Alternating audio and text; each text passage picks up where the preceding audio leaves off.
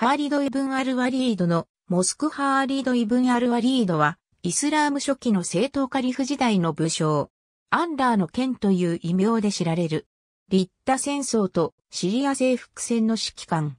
初期のイスラーム拡大時の戦争において多大な功績を果たした。元はメッカの暗い種族に従う騎兵隊長であり、初期のイスラム軍との戦いにも従軍している。625年のウフドの戦いでは200の騎兵を率いてイスラム軍の背後を突き、ムハンマドを負傷させることにも成功した。しかし628年に、クライ種族とムハンマドの間にフダイビーヤの和議が成立すると、メッカ市内にもイスラムの教えが広まり、ハーリドもこの時に改宗した。ムハンマドがアラブ世界を統一すると、イスラムはサーサーン・アサ、ペルシアや東ローマ帝国と争うようになる。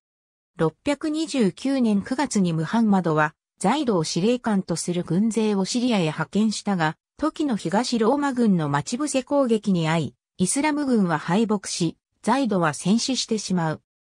この時に起点を働かせて改装するイスラム軍をまとめ上げ、無事に撤退させたムータの戦い。ムハンマドはハーリドの活躍に感激し、アンダーの剣と褒めたたえた。ムハンマド死後は初代カリフ、アブーバクルには軍権を預けられ、イスラム帝国の大躍進を支えた。ありがとうございます。